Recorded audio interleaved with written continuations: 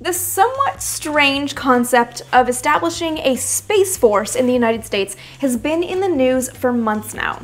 So let's talk about it.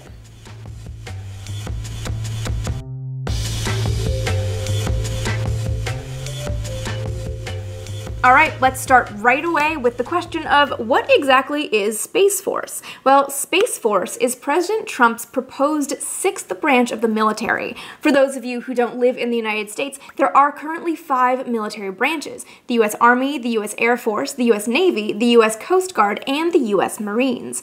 Now, why do we need this sixth branch? Why do we need a separate Space Force? Because any of you who know a lot about space history or even just have a tangential knowledge of space history know that military and space aren't exactly strange bedfellows. In fact, the link between military and space goes back right to the beginning of the space age. So let's dial it back and actually look at this history to understand where the military's relationship with space began and where it has evolved to now. In 1957, when the Soviet Union launched Sputnik, we had the same five military branches in the United States, and three of them were developing missiles that could potentially be used to launch payload into space. But two of them were really close to readiness.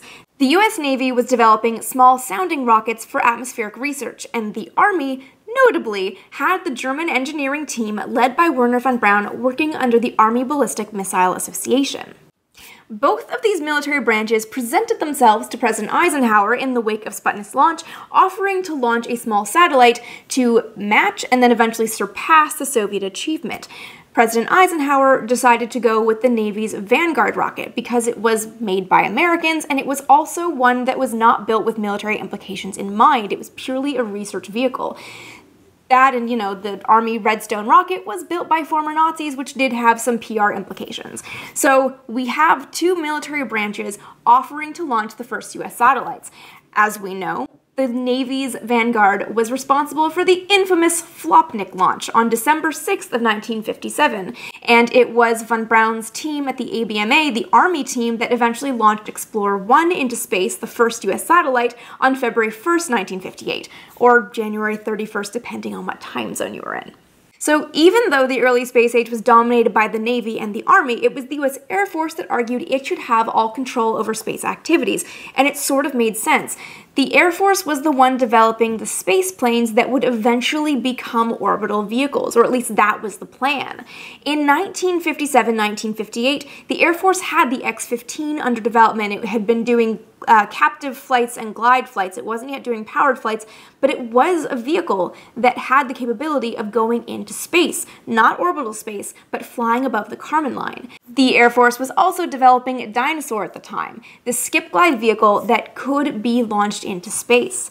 Now, the Air Force was doing both of these programs in conjunction with the NACA, the National Advisory Committee for Aeronautics. The NACA, in a nutshell, was the organization that did all the aerodynamic work for all of the major aviation players, including the military. Basically, the NACA had access to the best mines, the best wind tunnels, all of the things you need to really start to develop a beautiful, streamlined plane that can do things like fly Mach 7, which the X 15 was designed to do, and Mach 20, which was the Dyna-Soar's design limit. President Eisenhower was thus faced with all of these military branches vying to be the controlling entity in space, but he didn't want it to be militarized because we can't forget that the space age started out of the Cold War. And for all of you kids out there who don't study the Cold War in school, the Cold War was a war of ideologies between the Soviet Union on one side and the United States on the other. It was a Cold War because it didn't erupt into an actual hot war of launching missiles across the ocean to kill each other, although it did generate conflicts, mainly the Korean War and the Vietnam War. So Eisenhower, unwilling to let this completely unknown entity of outer space, which had a handful of things orbiting around the Earth in it, become a new battleground in the Cold War, decided that it should be run that all the space program in the United States should be run by a neutral entity. And so he created the National Aeronautics and Space Administration, NASA. And while NASA has always been a civilian agency, that doesn't mean that the military hasn't had a hand in space. The Redstone that launched the early Mercury missions was built by the Army, the ABMA. The Atlas that launched the orbital Mercury missions came from the Air Force, as did the Titan II that launched the Gemini missions. That Titan II missile is a version of the one that was in missile silos, ready to be launched in the event the Cold War turned hot arguably the Saturn family of rockets, the one that gave us the Saturn V that took us to the moon, started with the Army. Von Braun and his team were developing that series of rockets before the ABMA was transferred to NASA in 1960. And there's more military participation in space than that. In 1963, NASA and the Air Force decided to cancel the Dyna-Soar program because, well, it was kind of an aptly named dinosaur, and replace it with a militarized version of the Gemini spacecraft called the Manned Orbiting Laboratory.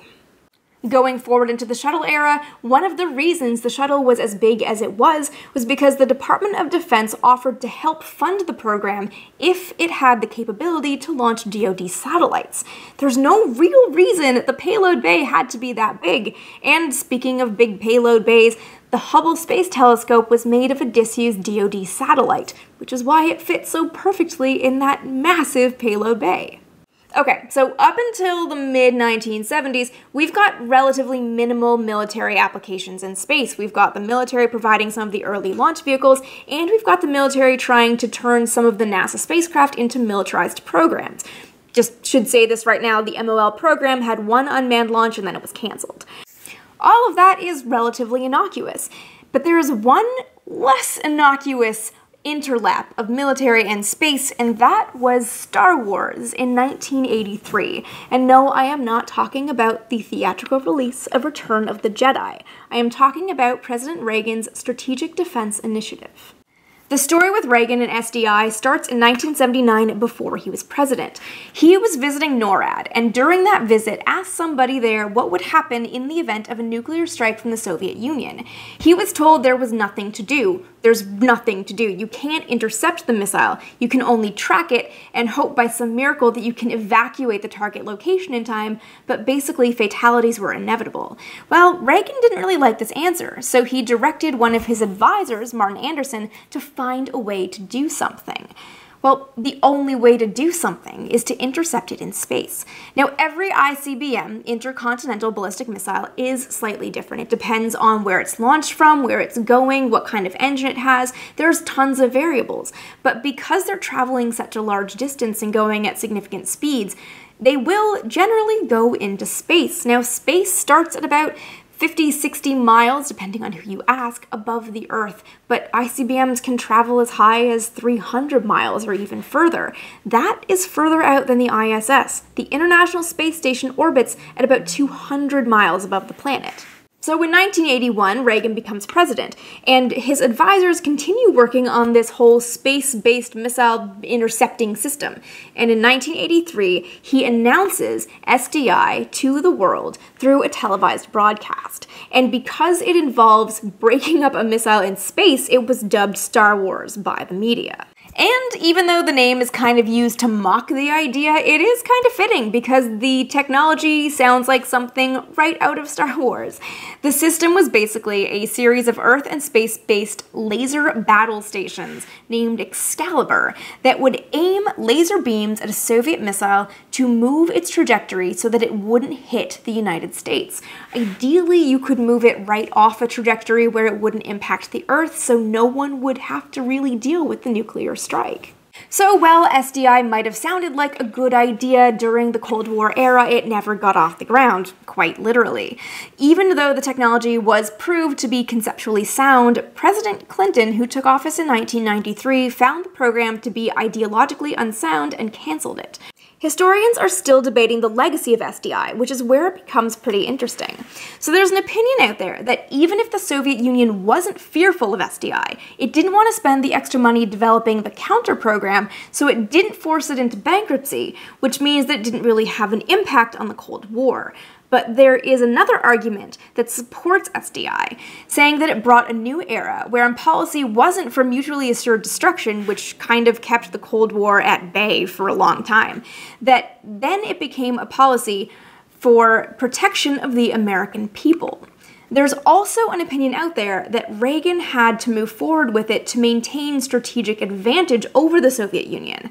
So, whether SDI looked like it was building up the arsenal of the United States or it brought about a detente, either way, it seems, historians agree, that it had some relatively significant impact on ending the Cold War. I personally don't have an opinion on this. I have not done nearly enough research into SDI to say definitively what I think, but it is super interesting. And it also kind of brings up an interesting point to discuss with the idea of Space Force, which is where this whole rant started.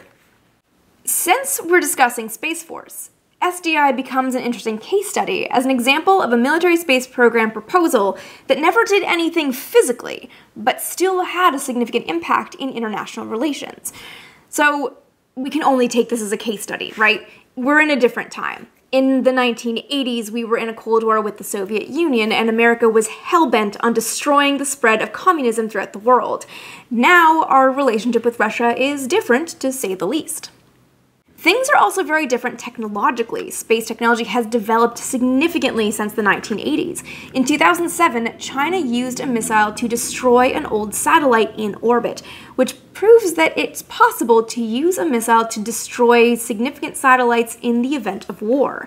So, would it be useful to have a military branch that deals exclusively with space beyond the existing military branches that deal with pieces of the space puzzle? It's actually events like that 2007 Chinese destruction of a satellite with a missile that has had people in Washington discussing the potential use and benefit of a military branch dealing exclusively with space for a number of years now. And really, the idea behind Space Force isn't that far from SDI. The primary goal of Space Force would be to protect American space based assets and attack enemy assets in the event of war. Think about it. We rely on GPS, as does the military. If you take away all of the military support systems that are communications, GPS, anything like that, it could seriously hamper an attack. I mean, this is a pretty poor analogy, but imagine D Day happening and everyone has their positions geolocated and is getting all of the, the updated information as the attack goes on through satellite based communications, and suddenly that network is wiped out. That could be a seriously bad day for a military and for a country. Another goal of Space Force would be to track space junk, which is something that the US Air Force already does, because there is a lot of it and it can seriously impede military action. Again, pieces of old space junk hitting satellites could be very problematic. Needing to launch new satellites and having a debris cloud of junk could be a problem. Cleaning up that space junk could be an excellent peacetime task for a body like the US Air Force or Space Force, so that when it comes down to a time of war all the satellite paths are clean. There's even talk down the line, very far down the line, of Space Force acting sort of like a coast guard for travelers going to the moon or tourism in space. If someone is stranded, Space Force could be there to do a rescue. A lot of the pushback of Space Force is coming from the Air Force, which is not entirely surprising. The Air Force does a lot of activities in space and stands to lose a lot if that is all passed off to a new military branch but the Navy and Army are also working in space and stand to lose a lot as well. So would it be really problematic to establish a new military branch? Not really. I mean, it's happened before. The US Air Force was part of the Army until 1947 and it was restructured. It would be messy and probably really expensive and complicated, but it's doable, so that's not really the stopping point. I think the main sticking point for me, whether or not it's something the country needs, I don't know. I am not in closed door meetings with the military and political higher ups, powers that be in Washington. Um, the thing that stands out to me is that this would go against decades of treaties that have been signed and ratified over the years that say that space is not to be militarized. Now, there have been a number of these treaties, but the most uh, the most notable of which is the Outer Space Treaty that was signed in 1967, and it was designed to set up a legacy of non-armament in space, ensuring that space remains a domain for peaceful exploration. Personally, I'm a fan of the idea of no military in space. Now, I know the Air Force will be tracking things. We all know the X 37B does its weird mystery stuff in orbit for a year and comes back and it's all classified so no one knows what's going on. But I love the idea of space exploration being something that's done for humanity and for science. And yes, I'm aware that makes me super idealistic. But when we talk about missions to Mars and Venus, because let's stop ignoring Venus, I love Venus, I would love to see it as kind of the ISS approach of a multinational mission that takes takes space as something that can be an an example of the best that humanity can do and has to offer, as opposed to potentially the worst that we have to say, which is war and destruction and killing each other. It's unlikely that my, you know, peaceful, everyone holding hands, happy vision of space exploration is the future. But to me personally, the idea of space going forward, space exploration going forward, free of weapons, does seem like a step in the right direction. I have to give a special thanks to Audible for making this video possible, which means I have something awesome for you guys who love space, love books, but maybe don't have a ton of time to read and instead prefer to listen to books on your commute. To get your first audiobook free and start your 30-day free trial, go to audible.com slash vintagespace. Or if you're in the US, you can text Vintage Space to 500 500. If you're keen to learn a little bit more about the early space stuff I talked about in this video, my own book, Breaking the Chains of Gravity, is available in addition to an amazing array of titles from space and science to fiction and everything in between. So go to audible.com slash vintagespace or in the US, text Vintage Space to 500 500 to start your 30-day free trial and get your first audiobook entirely free. There are a lot of opinions on Space Force with military and space about whether or not this is a good idea. Of course, I want to hear them. Let me know all of your thoughts and comments down in the comment section below this video. If you guys want more Vintage Space, be sure to subscribe for bi-weekly videos and for content every single day. Be sure to follow me on Twitter, Instagram, and also on Facebook. Thank you guys so much for watching, and I'll see you next time.